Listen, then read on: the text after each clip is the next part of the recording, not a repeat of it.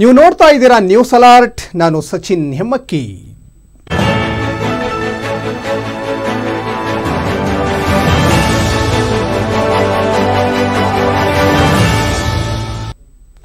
ಹುಟ್ಟುಹಬ್ಬ ಅಂದರೆ cake cut ಮಾಡೋದು, ಹಾರ ತುರಾಯಿ ಹಾಕಿ ಸಂಭ್ರಮ ಮಾಡೋದು ಸಾಮಾನ್ಯವಾಗಿರುತ್ತೆ. ಆದರೆ ಹೊನ್ನಳ್ಳಿ ಶಾಸಕ ರೇಣುಕಾಚಾರ್ಯ ಹುಟ್ಟುಹಬ್ಬದ ಪ್ರಯುಕ್ತ, ರೇಣುಕಾಚಾರ್ಯ ಮತ್ತು ಅವರ ಪತ್ನಿಗೆ ಅಭಿಮಾನಿಗಳು ಹಾಲಿನ ಅಭಿಷೇಕ ಮಾಡಿದ್ದಾರೆ. ಏನು ರೇಣುಕಾಚಾರ್ಯ ಅವರ ಐವತ್ತೊಂಬತ್ತನೇ ಹುಟ್ಟುಹಬ್ಬ ಹಿನ್ನೆಲೆ ಕೇಕ್ ಕಟ್ ಮಾಡುವ ವೇಳೆ ಹಾಲಿನ ಅಭಿಷೇಕ ಮಾಡಿದ್ದಾರೆ. ಅಂದಹಾಗೆ, ದಾವಣಗೆರೆ ಜಿಲ್ಲೆಯ ಹೊನ್ನಳ್ಳಿ ಪಟ್ಟಣದ ಸಂತೆ ಮೈದಾನದಲ್ಲಿ ತಮ್ಮ ಪ್ರೀತಿಯ ಶಾಸಕರ ಜನ್ಮದಿನ ಸಂಭ್ರಮಕ್ಕೆ ಕ್ಷೀರಾಭಿಷೇಕ ಮಾಡಿ ಅಭಿಮಾನಿಗಳು ಸಂಭ್ರಮಿಸಿದ್ದಾರೆ.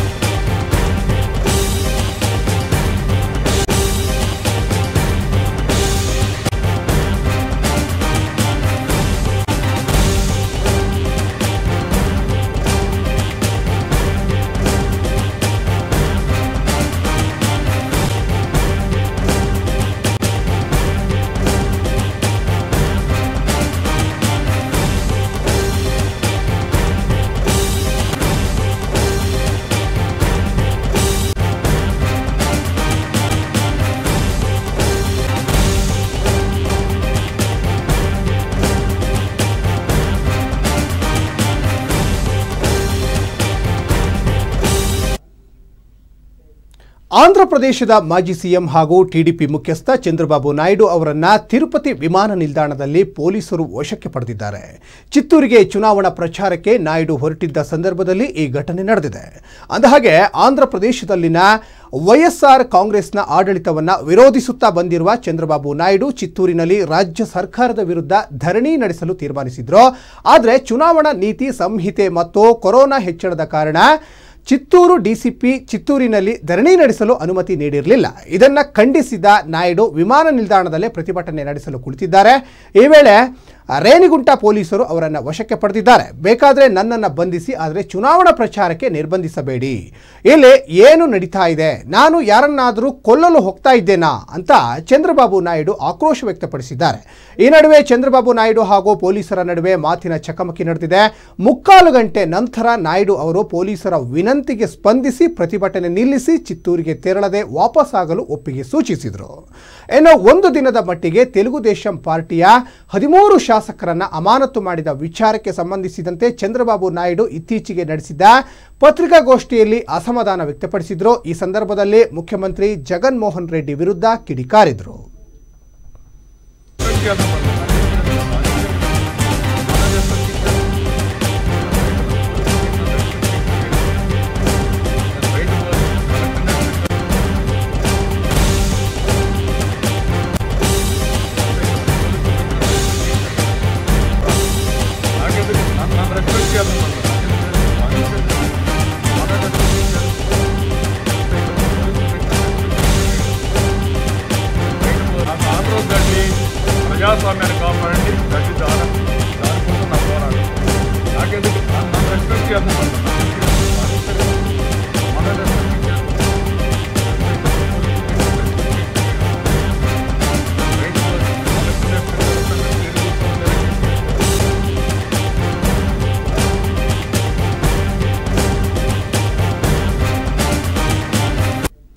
ಬೆಂಗಳೂರಿನ ಪಶ್ಚಿಮ ವಿಭಾಗದ ಪೊಲೀಸರಿಂದ ನಡೆದ ಭರ್ಜರಿ ಬೇಟೆಯಲ್ಲಿ ಖತರ್ನಾಕ್ ಇಂಟರ್ಸ್ಟೇಟ್ ಗನ್ ಸ್ಮಗ್ಲರ್ಗಳನ್ನು ಬಂಧಿಸಲಾಗಿದೆ.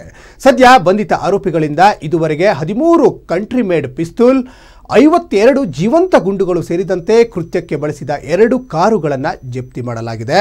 ಅಂದಹಾಗೆ ಜೈಲಿನಲ್ಲಿದ್ದುಕೊಂಡೇ ಅಕ್ರಮ ಪಿಸ್ತೂಲ್ ಮಾರಾಟ ಮಾಡಲು ಸ್ಮಗ್ಲರ್ಗಳು ಪ್ಲಾನ್ ಮಾಡ್ತಾ ಇದ್ರು ಎನ್ನಲಾಗಿದ್ದು, ಸಂಪಿಗೆಹಳ್ಳಿ ಪೊಲೀಸ್ ಠಾಣಾ ವ್ಯಾಪ್ತಿಯಲ್ಲಿ ನಡೆದಿದ್ದ ಹತ್ಯೆ ಪ್ರಕರಣಕ್ಕೆ ಸಂಬಂಧಿಸಿದಂತೆ ಜೈಲು ಸೇರಿದ್ದ ಪ್ರಕರಣದ ಎರಡನೇ ಆರೋಪಿ ಫೈ ಅಜುಲ್ಲಾ ಖಾನ್ ಮಧ್ಯಪ್ರದೇಶ, ಉತ್ತರ ಪ್ರದೇಶದ ಮತ್ತು ತಮಿಳುನಾಡು ಹಾಗೂ ಗುಜರಾತ್ ಮೂಲದ ಇನ್ನಿತರ ಪ್ರಮುಖ ಆರೋಪಿಗಳನ್ನು ಬಂಧಿಸಲಾಗಿದೆ. ಏನು ಆರೋಪಿ ಫಯಾಜುಲ್ಲಾ ಖಾನ್ ಜೈಲಿನಲ್ಲಿದ್ದುಕೊಂಡೇ ತನ್ನ ಸೋದರ ಸಂಬಂಧಿ ಪ್ರಕರಣದ ಒಂದನೇ ಆರೋಪಿ ಕದೀರ್ ಖಾನ್ ಮೂಲಕ ಅಕ್ರಮ ಪಿಸ್ತೂಲ್ ಮಾರಾಟದ ಪ್ಲಾನ್ ಮಾಡ್ತಾ ಇದ್ದ ಎಂಬುದು ತನಿಖೆಯಿಂದ ತಿಳಿದು ಬಂದಿದೆ. ಅಲ್ಲದೆ ಆರೋಪಿ ಕದೀರ್ ಖಾನ್ ವಿನಯ್ ತಮಿಳುನಾಡು ನಿವಾಸಿಯಾಗಿದ್ದು, ಉತ್ತರ ಪ್ರದೇಶ ಮೂಲದ ಆರೋಪಿ ಪರಾಗ್ ಕುಮಾರ್, ಗುಜರಾತ್ ಮೂಲದ ಶಹನವಾಜ್ ಅನ್ಸಾರಿ ಮಧ್ಯಪ್ರದೇಶ ಮೂಲದ ಆರೋಪಿಗಳಾದ ನಾಸಿರ್ ಶೇಖ್ ಸಲ್ಮಾನ್ ಖಾನ್ ಫಕ್ರುದ್ದೀನ್ ಸದ್ಯ ಬಂಧಿತ ಆರೋಪಿಗಳಾಗಿದ್ದಾರೆ. ಇದಲ್ಲದೆ ಮಧ್ಯಪ್ರದೇಶದ ಮುಜಾಫರ್ ನಗರದಲ್ಲಿ ಮಫ್ತಿಯಲ್ಲಿ ಹೋಗಿದ್ದ ಪೊಲೀಸರಿಗೆ ಲೈವ್ ಮೂಲಕ ಪಿಸ್ತೂಲ್ ಕೆಲಸ ಮಾಡುವ ಕುರಿತು ಡೆಮೋ ಮಾಡಿದ್ರು. ಎರಡು ಸಾವಿರದ ಹದಿನೇಳರಿಂದ ಈವರೆಗೆ ಬೆಂಗಳೂರಿನಲ್ಲಿ ಯಾರೂ ಕೂಡ ಮಾರಾಟ ಮಾಡಿರುವ ಬಗ್ಗೆ ಮಾಹಿತಿ ಇರಲಿಲ್ಲ. ಈ ಹಿಂದೆ ಬೇರೆ ಬೇರೆ ರಾಜ್ಯಗಳಲ್ಲಿ ಅಕ್ರಮ ಪಿಸ್ತೂಲ್ಗಳ ಮಾರಾಟದ ಬಗ್ಗೆ ಮಾತ್ರ ಮಾಹಿತಿ ಇದೆ. ಇದೇ ವೇಳೆ ಆರೋಪಿಗಳ ಬಳಿ ಹೆಚ್ಚಿನ ಮಾಹಿತಿ ಕಲೆ ಹಾಕಲು ಪೊಲೀಸರು ಮುಂದಾಗಿ ಕೋನಾರ್ಕ್ ರೆಸಿಡೆನ್ಸಿ ಹೋಟೆಲ್ನಲ್ಲಿ ಆರೋಪಿ ಕದೀರ್ ಖಾನ್ನನ್ನು ಬಂಧಿಸಿದ್ದಾರೆ. ನಂತರ ಪ್ರಕರಣದ ಒಂದನೇ ಆರೋಪಿ ಕೊಟ್ಟ ಮಾಹಿತಿ ಮೇರೆಗೆ ಫಯಾಜುಲ್ಲಾ ಖಾನ್ ಅವರನ್ನು ವಿಚಾರಣೆ ನಡೆಸಿದ್ದರಿಂದ ಅಕ್ರಮ ಪಿಸ್ತೂಲ್ ಮಾರಾಟ ದಂಧೆಯ ಮಾಹಿತಿ ಖಚಿತವಾಗಿದೆ.